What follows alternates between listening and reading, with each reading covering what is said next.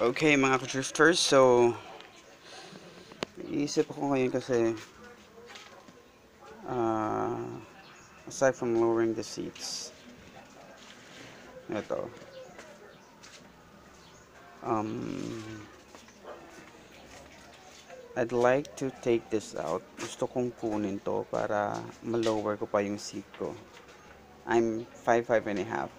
And unfortunately pag nakatayo ako medyo nakaganito yung pa ako hindi siya flat sa ground. So I want at least my foot to be lowered uh, para mas makontrol ko yung motor. So gusto, gusto ko tong tanggalin pero I want to keep this and I want to keep this. So ilo-lower ko siya ito para nakatouch sa sa tubo niya. And then ito ang cowl i-retain ko to. So maybe I will just take this off right along this area para makip ko to. So, let's see kung paano natin gagawin yan. Okay, so in the meantime, tatanggalin ko muna to and let's see what's uh, under this uh, seats. Kung ano pa yung pwedeng matatanggal natin at uh, magagawa natin. Okay, I'll get back to you. Okay, so ito yung gagawin natin. Ito, yung CDI, na nakalagay dito. Nilagay ko dito para malubog ko siya sa ilalim. Tapos ito yung mga rubber na to. Tatanggalin ko to kasi ito yung susupport dito. So I want this uh, the back of the seats to be closer to this uh, frame. At ito tatanggalin natin to kasi nga gusto nating ilo-lower to. And dito yon nakadikit yung nakaangkla yung yung seat. So pag nilower na natin yan dito na yan banda mapupunta. So tatanggalan natin ng area dito para yung uh, ganito ng seats. Ito yung angkla nya ipapasok dito. At may fix pa rin natin siya. So most probably ito tatanggalin ko din to kasi babanggayan eh dito eh. Babanggayan dito. So tatanggalin ko to. Okay. Isa pa. So let's try to remove. Let's try to remove this. Ito so pag natanggal na to yung kalalabasan niya. Ito ngayon so medyo lower na siya ngayon gagawin natin since ilo-lower natin to yan, yung sa loob na yan yung naka-anklang yan yung lock yan, yung lock ng upuan yan. Dyan natin ilalagay sa ilalim. Pag dyan na sa ilalim nakalagay dyan itong area na to na may um, rubber babangga siya dito.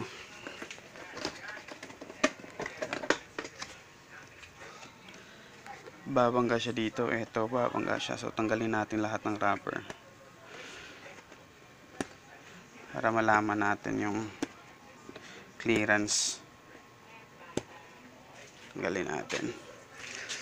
Uh, lagay natin. Lagay natin dito. Yan at saka tanggalin natin to. Para may pasok natin yung na maigi yung ano. Madali lang naman siyang tanggalin. Yan screw. Yan yan at yun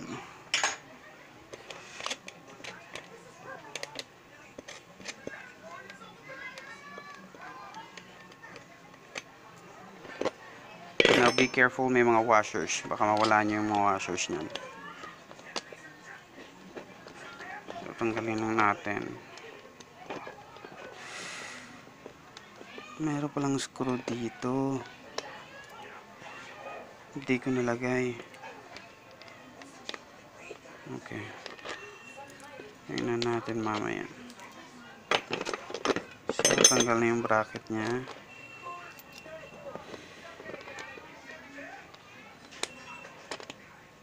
Okay, so let's put this aside. Dito.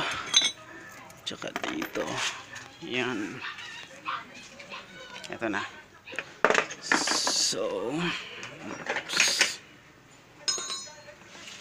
Yan. So, kung titingnan nyo, pag dito siya, pag nilagay ko to sa sobrang ilalim,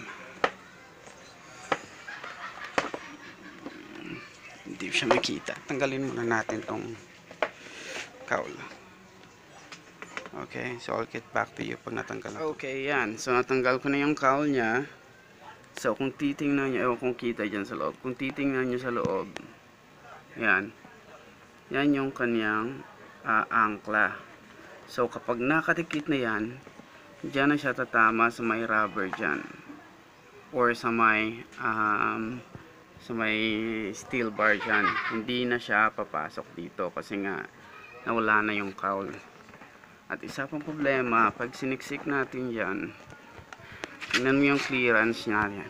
Mula dito hanggang dito, medyo malaki, siguro ah, an inch and a half. So, at nakasandal yung wire na dyan dito. Nababangga yung wire na yan. Ito, dito. So, hindi natin pwedeng butasan to kasi nga lalabas yan dito magbabump yan dito. So, ang gagawin na lang natin para ma-lower to lahat is tatanggalin natin ng part na to. Para yung itong side ng seats is bababa. So, magbabawas tayo. So, pag ganyan, tatanggalin natin to. Itong part na to.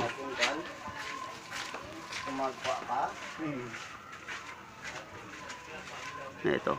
Mula dito puputulan natin dyan. Or mula dito puputulin natin yan hanggang hanggang dito siguro.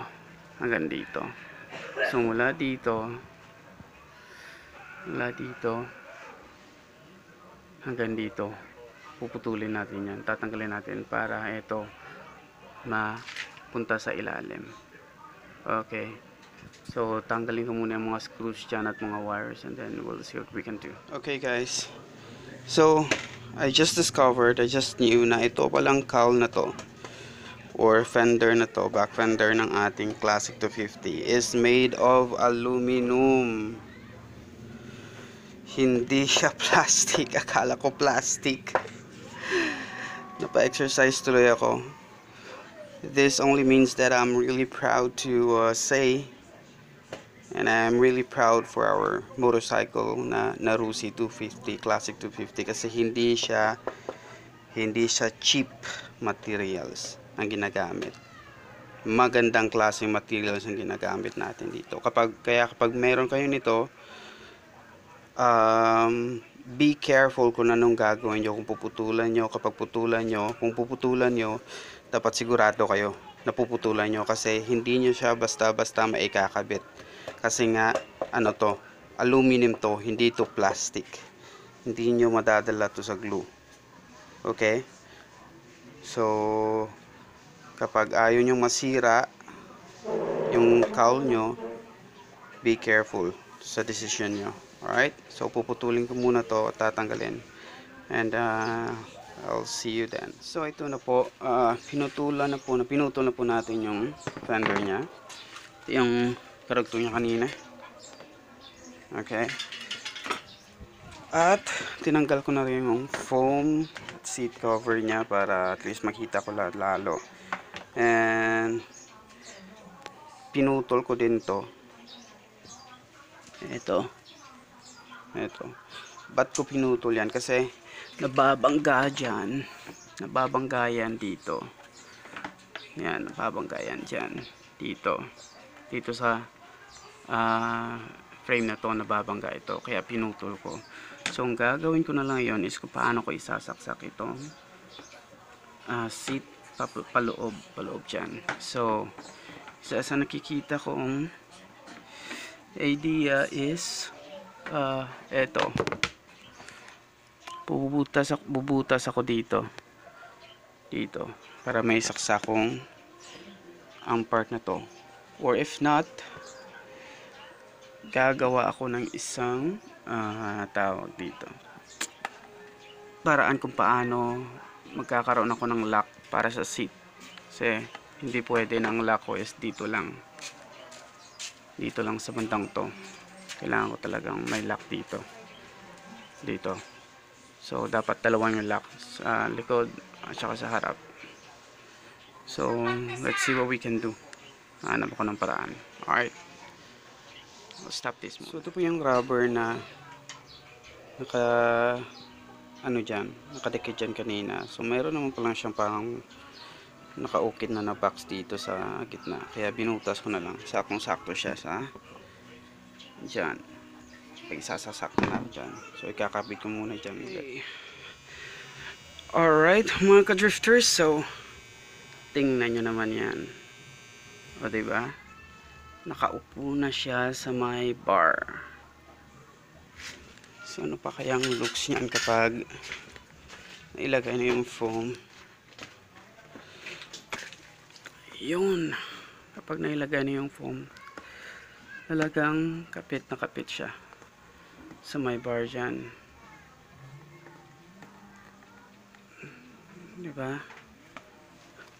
So, ano po ang ginawa natin? Ito. Talagang binutasan ko niyan para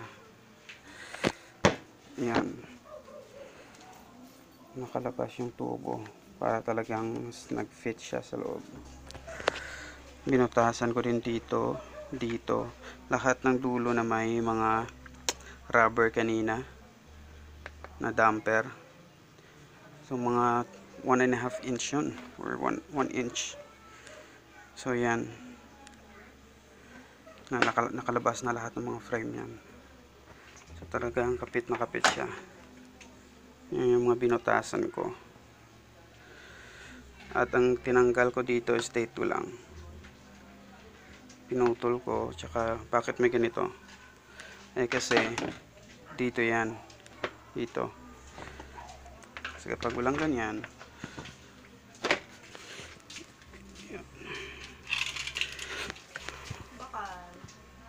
there. So, hindi siya babangga. Yan. At remember yung ano dito, parang ano dito, parang frame dito kung saan nakasaksak tinanggal ko na yan kasi useless na kasi dyan na siya ngayon nakasaksak sa ilalim. O hindi na, hindi na nga dito eh. Dito na siya talaga sa ilalim. Yan dyan siya sa ilalim sa ilalim ng metal na frame na to. Hindi na dito. O tingnan nyo ito yung rubber. Ito yung rubber dito. Pero yung ano natin yan sa ilalim na yan ng, ng metal frame. Yan. Ito talagang kapit na kapit okay. So ang next na problem is kung paano ko mailalagay yung um, frame dito. Ah saan na yun? Yun. Ito. Saan paano ko mailalagay yung frame dyan? Papunta dito. So for sure bubutasan ko yan. Yan bubutasan bubutas ako dito. Sure ako dyan. Para mailagay ko yung ah, para mailagay ko yung ano yung bracket. Ito yung bracket. So puputol ako dito tapos bubutas ako dito para sakto sa bracket. So yan yung next na problem. At saka ito